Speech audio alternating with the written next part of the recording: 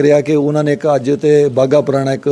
ਬੰਦੀ ਸਿੰਘਾਂ ਦੀ ਰਿਹਾਈ ਲਈ ਇੱਕ ਮਾਰਚ ਸੀਗਾ, ਉਹਦੇ 'ਚ ਵੀ ਉਹਨਾਂ ਭਾਗ ਲੈਣਾ ਸੀ। ਸ਼ਾਇਦ ਉਹ ਕਿਸੇ ਆਪਣੇ ਸੰਗੀ ਸਾਥੀ ਨੂੰ ਇਧਰ ਉਧਰ ਕਹਿਣ ਵਾਸਤੇ ਵੀ ਗਏ ਹੋਣ ਕੱਲ ਵਾਸਤੇ। ਤੇ ਉਹਨ ਉਹ ਚੀਜ਼ਾਂ ਨੂੰ ਰੋਕਣ ਵਾਸਤੇ ਜਾਂ ਸਾਡੇ ਪਰਿਵਾਰ ਦੀ ਕਿਰਦਾਰ ਕੁਸ਼ੀ ਕਰਨ ਵਾਸਤੇ ਅਮਰਤਪਾਲ ਨੂੰ ਜਿਹੜੇ ਬਦਨਾਮ ਕਰਨ ਵਾਸਤੇ ਕਿ ਜੋ ਅਮਰਤਪਾਲ ਦੀ ਜਾਂ ਸਰਬਜੀਤ ਦੀ ਜਿੱਤ ਹੋਈ ਆ, ਮੇਰੇ ਖਿਆਲ ਕਿ ਪੰਜਾਬ ਵਿਰੋਧੀ ਸ਼ਕਤੀਆਂ ਨੂੰ ਉਹ ਬਰਦਾਸ਼ਤ ਨਹੀਂ ਹੋ ਰਹੀ। ਤੇ ਉਹਨਾਂ ਨੂੰ ਕਿਸੇ ਵੀ ਤਰੀਕੇ ਨਾਲ ਬਦਨਾਮ ਕਰਕੇ, ਇਹੋ ਜਿਹੇ ਹਾਲਾਤ ਪੈਦਾ ਕਰਕੇ ਕਿ ਇੱਕ ਤੇ ਉਹ ਬਾਹਰ ਨਾ ਆ ਸਕਣ ਤੇ ਦੂਜਾ ਇਹ ਜਿਹੜਾ ਕਿ ਪਰ- ਜਿਹੜਾ ਜਿਹੜਾ ਉਹਨਾਂ ਦਾ ਮਿਸ਼ਨ ਹੈ, ਉਹਨੂੰ ਕਿਸ ਤਰੀਕੇ ਨਾਲ ਫੇਲ ਕੀਤਾ ਜਾ ਸਕੇ। ਤੇ ਇਹ ਜਿਹੜੀਆਂ ਚੀਜ਼ਾਂ ਕਿ ਨਸ਼ੇ ਦੇ ਵਿਰੁੱਧ ਕੰਮ ਕਰਨ ਵਾਲਿਆਂ ਦੇ ਉੱਪਰ ਹੀ ਨਸ਼ੇ ਦੇ ਕੇਸ ਪਾਓ, ਇਹ ਤਾਂ ਬਹੁਤ ਮੇਰੇ ਖਿਆਲ ਇਹ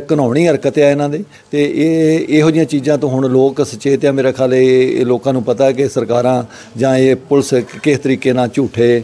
ਕੇਸ ਪਹਿਲਾਂ ਵੀ ਦਰਜ ਕਰਦੀ ਆ। ਕਈਆਂ ਦਿਨਾਂ ਤੋਂ ਸਾਨੂੰ ਅੱਗੇ ਵੀ ਸ਼ਿਕਾਇਤਾਂ ਮਿਲ ਰਹੀਆਂ ਕਿ ਜਿਨ੍ਹਾਂ ਦੇ ਪੁਰਾਣੇ ਕੋਈ ਪ- ਚਿਰ ਚਿਰ ਦੇ ਵੀ ਕੇਸ ਸੀ ਉਹਨਾਂ ਨੂੰ ਵੀ ਦੁਬਾਰਾ ਬੁਲਾਇਆ ਜਾ ਰਿਹਾ ਕਿ ਤੁਸੀਂ ਤੁਹਾਡੀ ਇਨਕੁਆਰੀ ਹੋਣੀ ਆ, ਤੁਸੀਂ ਆਪਣੇ ਪਾਸਪੋਰਟ ਦੀਆਂ ਕਾਪੀਆਂ ਜਮ੍ਹਾਂ ਕਰਾਓ, ਕੁਛ ਇਸ ਇਦਾਂ ਦੇ ਇਦਾਂ ਦੇ ਕਰਕੇ ਲੋਕਾਂ 'ਚ ਡਰ ਦਾ ਮਾਹੌਲ ਪੈਦਾ ਕੀਤਾ ਜਾ ਰਿਹਾ ਤੇ ਇਹ ਮੇਰੇ ਖਿਆਲ ਇਹ ਵੀ ਉਸੇ ਕੜੀ ਦਾ ਉਹ ਇੱਕ ਸਾਜ਼ਿਸ਼ ਆ। ਸ਼ਿਜੰਤ ਰਿਹਾ ਵੀ ਜਿਹੜਾ ਇਹਨਾਂ ਨੂੰ ਸਿੱਖਾਂ ਨੂੰ ਬਦਨਾਮ ਕਰਕੇ ਪੂਰੀ ਦੁਨੀਆ 'ਚ ਇਹ ਚੀਜ਼ਾਂ ਤੋਂ ਜਿਹੜੇ ਉਹ ਆਪਣੇ ਹੱਕਾਂ ਦੀ, ਆ ਜਿਹੜਾ ਰਾਜਸਥਾਨ 'ਚ ਪਿੱਛੇ ਜੇ ਹੋਈ ਘਟਨਾ, ਉਹ ਤੇਜਿੰਦਰਪਾਲ ਟਿੰਮਾ ਦੇ ਉੱਪਰ ਦੇਸ਼ ਧਰੋਹ ਦਾ ਪਰਚਾ ਦਰਜ ਕਰਨਾ। ਮੇਰਾ ਖਿਆਲ ਹੈ ਕਿ ਸਾਰੇ ਸਾਡੇ ਸਿਗਰਿਆ ਕਿ ਉਹਨਾਂ ਨੇ ਇੱਕ ਅੱਜ ਤੇ ਬਾਗਾ ਪੁਰਾਣਾ ਇੱਕ ਬੰਦੀ ਸਿੰਘਾਂ ਦੀ ਰਿਹਾਈ ਲਈ ਇੱਕ ਮਾਰਚ ਸੀਗਾ, ਉਹਦੇ 'ਚ ਵੀ ਉਹਨਾਂ ਭਾਗ ਲੈਣਾ ਸੀ। ਸ਼ਾਇਦ ਉਹ ਕਿਸੇ ਆਪਣੇ ਸੰਗੀ ਸਾਥੀ ਨੂੰ ਇਧਰ ਉਧਰ ਕਹਿਣ ਵਾਸਤੇ ਵੀ ਗਏ ਹੋਣ ਕੱਲ ਵਾਸਤੇ।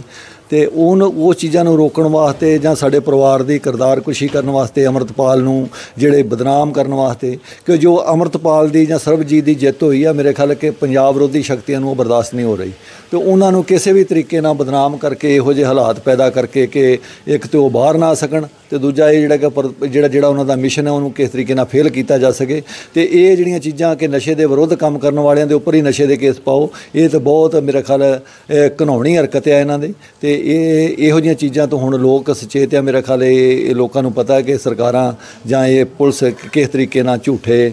ਕੇਸ ਪਹਿਲਾਂ ਵੀ ਦਰਜ ਕਰਦੀ ਆ। ਕਈਆਂ ਦਿਨਾਂ ਤੋਂ ਸਾਨੂੰ ਅੱਗੇ ਵੀ ਸ਼ਿਕਾਇਤਾਂ ਮਿਲ ਰਹੀਆਂ ਕਿ ਜਿਨ੍ਹਾਂ ਦੇ ਪੁਰਾਣੇ ਕੋਈ ਪ- ਚਿਰ ਚਿਰ ਦੇ ਵੀ ਕੇਸ ਸੀ ਸੀ, ਉਹਨਾਂ ਨੂੰ ਵੀ ਦੁਬਾਰਾ ਬੁਲਾਇਆ ਜਾ ਰਿਹਾ ਕਿ ਤੁਸੀਂ ਤੁਹਾਡੀ ਇਨਕੁਆਰੀ ਹੋਣੀ ਆ, ਤੁਸੀਂ ਆਪਣੇ ਪਾਸਪੋਰਟ ਦੀਆਂ ਕਾਪੀਆਂ ਜਮ੍ਹਾਂ ਕਰਾਓ, ਕੁਛ ਇਸ ਇਦਾਂ ਦੇ ਇਦਾਂ ਦੇ ਕਰਕੇ ਲੋਕਾਂ 'ਚ ਡਰ ਦਾ ਮਾਹੌਲ ਪੈਦਾ ਕੀਤਾ ਜਾ ਰਿਹਾ ਤੇ ਇਹ ਮੇਰੇ ਖਿਆਲ ਇਹ ਵੀ ਉਸੇ ਕੜੀ ਦਾ ਉਹ ਇੱਕ ਸਾਜ਼ਿਸ਼ ਆ ਸ਼ਿਜੰਤ ਰਿਹਾ ਵੀ ਜਿਹੜਾ ਇਹਨਾਂ ਨੂੰ ਸਿੱਖਾਂ ਨੂੰ ਬਦਨਾਮ ਕਰਕੇ ਪੂਰੀ ਦੁਨੀਆ 'ਚ ਇਹ ਚੀਜ਼ਾਂ ਤੋਂ ਜਿਹੜੇ ਉਹ ਆਪਣੇ ਹੱਕਾਂ ਦੀ, ਆ ਜਿਹੜਾ ਰਾਜਸਥਾਨ 'ਚ ਪਿੱਛੇ ਜੇ ਹੋਈ ਘਟਨਾ, ਉਹ ਤੇਜਿੰਦਰਪਾਲ ਟਿੰਮਾ ਦੇ ਉੱਪਰ ਦੇਸ਼ ਧਰੋਹ ਦਾ ਪਰਚਾ ਦਰਜ ਕਰਨਾ। ਮੇਰਾ ਖਿਆਲ ਹੈ ਕਿ ਸਾਰੇ ਸਾਡੇ